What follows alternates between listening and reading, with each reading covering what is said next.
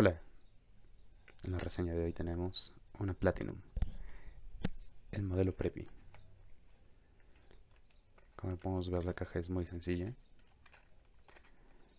nada especial. Aquí vienen las instrucciones, la pluma y un cartucho extra.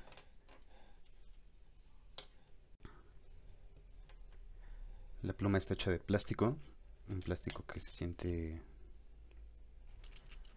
duradero, pero nada especial, nada del otro mundo.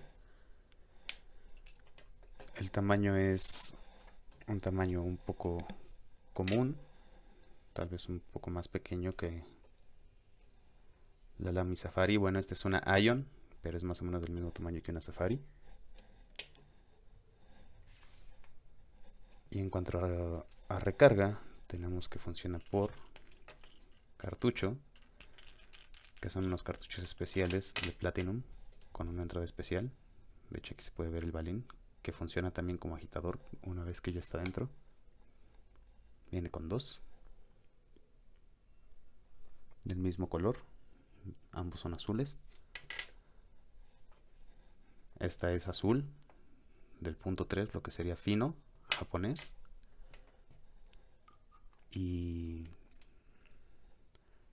no se siente nada especial, simplemente es de plástico, se siente bien, se siente que no se va a romper muy fácil. Sin embargo, a esta pluma le podemos hacer la conversión al eyedropper. Por eso aquí tengo mi tinta. Y eso es lo que haremos en un momento. En cuanto al tapón, lo que tiene de interesante es que te muestra aquí el color de la tinta que va a venir. Y tiene este sistema de Platinum que ellos afirman que puedes dejar la pluma tapada por bastante tiempo y no se va a secar la tinta.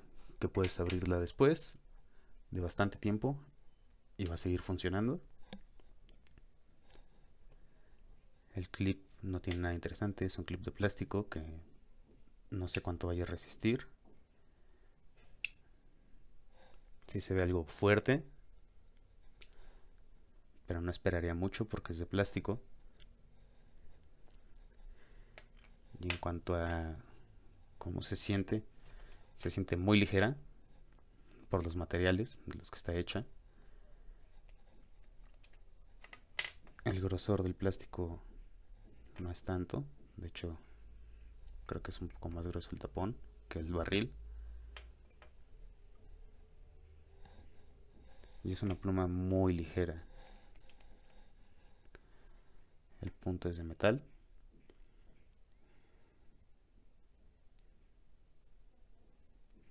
Ahí está la P de Platinum, la medida, punto 3, que sería un punto fino. Y pues vamos a llenarla. Ok.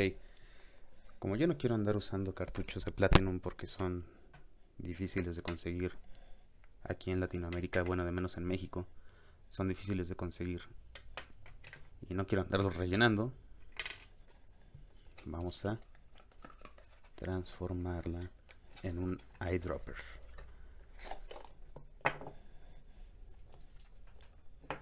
Muy sencillo. Necesitamos la tinta.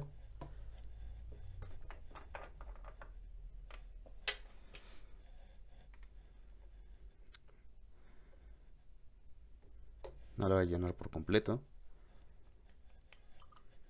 Porque me gusta cambiar mucho de tintas. Sin embargo, creo que le caben como unos 3 mililitros de tinta.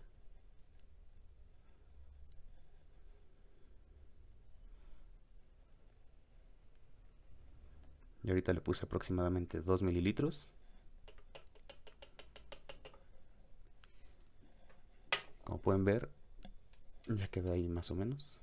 Estamos por la mitad. Así que le han de caber aproximadamente 3 porque no lo quieres llenar hasta acá. Y si te pasa esto que a mí, simplemente agarras papel y lo limpias para que no se ensucie la sección.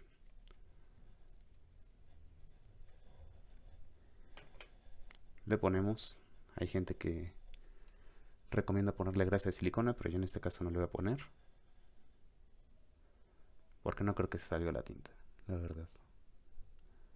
Si ya se empieza a salir, si le pones un poquito de grasa de silicona a la parte de la sección, o incluso vaselina si te quieres arriesgar un poco. Y al parecer esa mancha está por dentro, no por fuera. Y listo. Ya la convertiste en un eyedropper. Que hace que tengas más tinta, que no utilices cartuchos. Y creo que hasta se ve un poco mejor. Tal vez si le hubiera puesto una tinta azul claro se vería muchísimo mejor. Pero eso es todo. Es la conversión a eyedropper.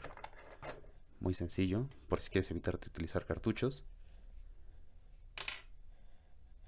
Y vamos a la prueba de escritura.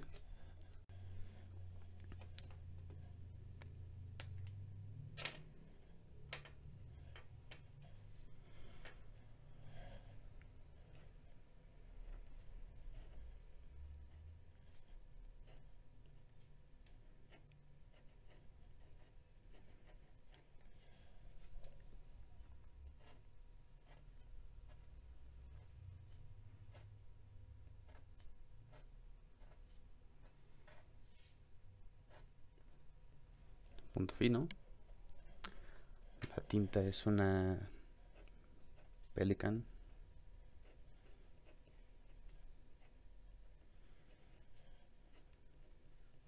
La serie Edelstein.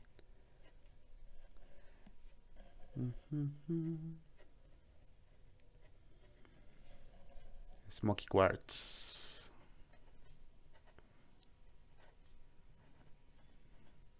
Que fue la tinta del año, creo que 2018 o 2019, no estoy seguro.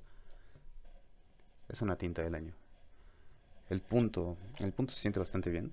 La verdad es que por lo que había escuchado de Platinum pensé que iba a ser un poquito más rasposo.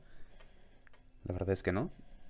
Creo que las pilot finas son un poco más rasposas. Esta se siente bastante suave. Se siente muy bien. En cuanto a humedad,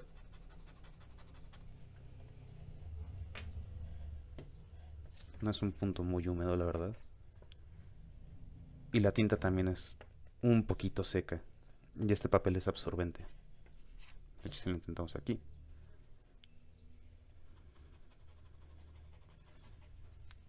Este es más seco todavía. Esta es una cartulina u opalina. Y se siente bastante bien, la verdad, para hacer un punto fino. Creo que sería de mis puntos finos favoritos por cómo se siente. Se siente un poquito que rebota a la hora de escribir. Me ha sorprendido. A pesar de ser una pluma, digamos, desechable, se siente muy bien. ¿Qué otros tamaños hay? Yo la he visto en fino, que es este. Medio. Y no sé si hay ancho. Creo que hay itálicos. Y también hay con punta de pincel. Y, y punta de marcador. Nada más que son más raras de conseguir. Esas las venden en Japón. Vamos a compararlo con otro punto. Este es un fino. Vamos con un medio. No se alcanza a ver muy bien. Ahí está un medio. Un medio europeo.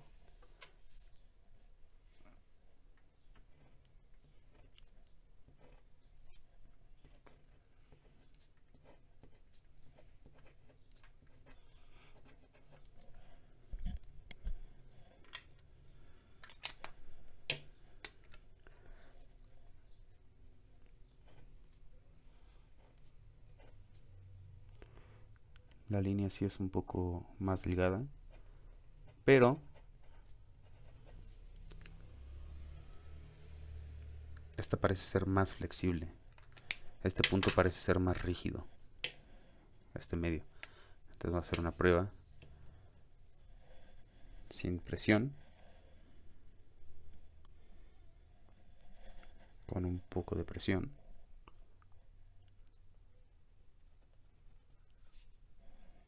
Con bastante presión.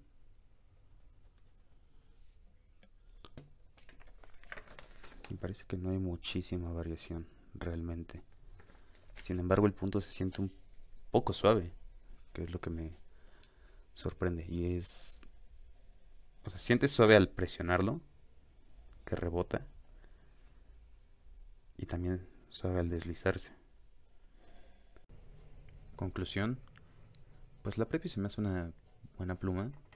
Si la quieres traer en la mochila, si la quieres dejar en tu escritorio para que la agarres y tomes notas, o si la quieres llevar, no sé, a la escuela o a un lugar en, en la que no quieres llevar una pluma más cara, se me hace una buena opción, sobre todo porque puedes ponerle la tinta que se te antoje y traer muchísima tinta. Me gustaría para, yo creo que para dibujar estaría bastante bien, porque siente muy bien este punto. Me gusta mucho este punto. Me sorprendió realmente. Yo creo que de los puntos finos asiáticos es de mis favoritos. Porque se siente muy suave. Y simplemente me gusta. Como ya dije, vas a tener una gran capacidad si quieres hacer esto. En otro caso tendrías que usar los cartuchos. Y es de las cosas que no me gusta. De Platinum en general y de muchas marcas, sobre todo las asiáticas, porque aquí en mi país es difícil conseguir cartuchos Platinum o el convertidor de cartuchos Platinum. Lo mismo pasa con Sailor. Con Pilot no tanto.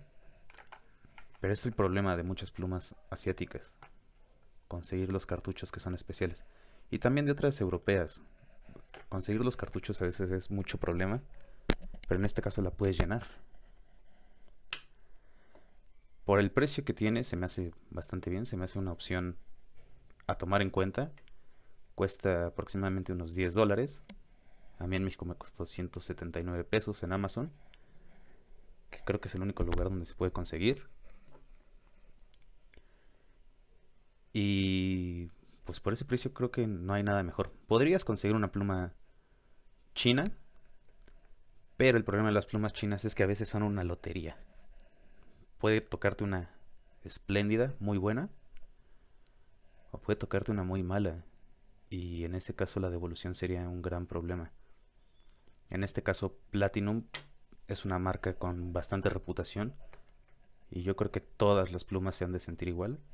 Han de escribir igual. Y tienes garantía.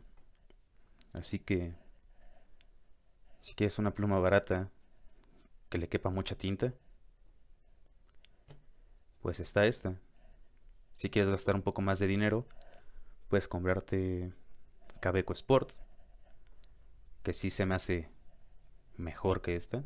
Me gusta más el diseño y se siente un poquito mejor en la mano, aunque también es de plástico, pero es otro tipo de plástico.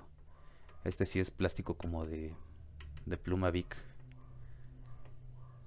Entonces, eso es todo. Cada quien toma la decisión.